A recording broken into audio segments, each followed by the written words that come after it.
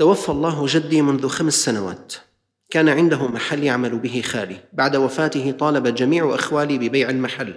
لكن جدتي رفضت ذلك وتوعدت بالغضب عليهم إن قاموا ببيع المحل.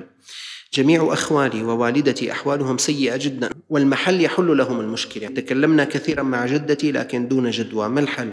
والله الله يجزيك الخير على هذا السؤال. هذا أول شيء هذا الجواب لكل كبير سن بيننا رجلا كان أو امرأة أو لكل إنسان غدا سيطعن في السن. يا أخي إذا مات الميت اليوم اليوم مات الميت. الأصل انقطع ملكه عن ما يملك. بهذه اللحظة أيمت مات الساعة 7 الصبح؟ 7 الصبح صارت ممتلكاته للورثة. سبعة ودقيقة صارت ملك للورثة. طيب هلا مثلا ما لنا فاضيين؟ والله في وفاة بدنا نستنى يوم يومين ثلاثة لأنه مشغولين بالوفاة. كويس. أخي اليوم الثالث وأنا أعرف عائلات. ثالث يوم العزاء. انتهى العزاء فيهم رشيد. بس خلصوا الناس طلعوا من العزاء بقيوا بالصالة. قال لهم خليكم للإخوات الموجودين. وأرسل من يأتي بأمه وأخواته البنات مع أنه بالعدة هي بس تخرجوا لحاجة.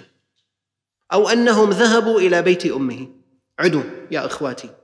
ابوكم مات. أنت يا أمي الك الثمن انت إلك مثلا عشر أسهم انت عشرين سهم انت خمسين سهم.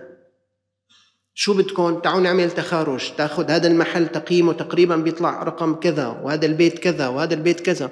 إلك مصلحة تأخذ البيت إلك مصلحة تاخذي المحل. خلص بعد يومين نفذ هذا بالمحاكم وانتهى الأمر. لكن أنا أعلم 15 سنة صار له ميت الأب. لهلأ ما متوازعين الإرث لهلا 15 سنة. كل ما حدا فتح سيرة من الأولاد يا لطيف إما الآخرون بيقولوا له بيصير وما بيصير أو الأم بتقول له بدك تفرق بيناتنا أنت أو مرتك هي اللي وزتك. يا أخوان هذا خطأ. هل يجوز للأم تقول أنا ما بدي بيع المحل وبغضب عليكم إذا تبيعوا المحل؟ لا يجوز لها أن تقول. هل غضبها واقع؟ غير واقع. الأم غضبها واقع إذا كان حق أما بالباطل ليس. يعني هلا أخ له مع أخوه مليون ليرة سوري عم تقول له الأم اللي يعني المدين إنه إذا بترجع له إياها بغضب عليك. هذا كلامك باطل. رجع له إياها ولا تنتظر لا رضا ولا غضب بهذه المسألة. بس نحن لا نريد أن نزعج الأم. يعني إذا لقينا طريقة هيك إيجابية من دون ما نزعجها فلنفعل. إذا ما وجدنا يجوز للإخوة والأخوات أن يقتسموا هذا المحل. هلأ إذا الأم حابة المحل يبقى طيب ماشي الحال. خلينا نشوف إذا حصتها تستوعب المحل يعني بتطلع من باقي الحصص ويبقى المحل للأم. إذا بنحل لها القضية يعني لاقي حل بطريقة مع معينة لكن يا أمهات ليس سامحوني ليس لكن حق في أموال أولادكن إلا بما أمر الله عز وجل.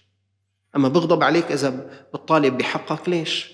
الناس بده يا أخي حقوقها بدهم ينفرجوا يبيعوا يزوجوا يسافروا. يا أخي ما خلص بده يحط مصاري بجيبته له الحق.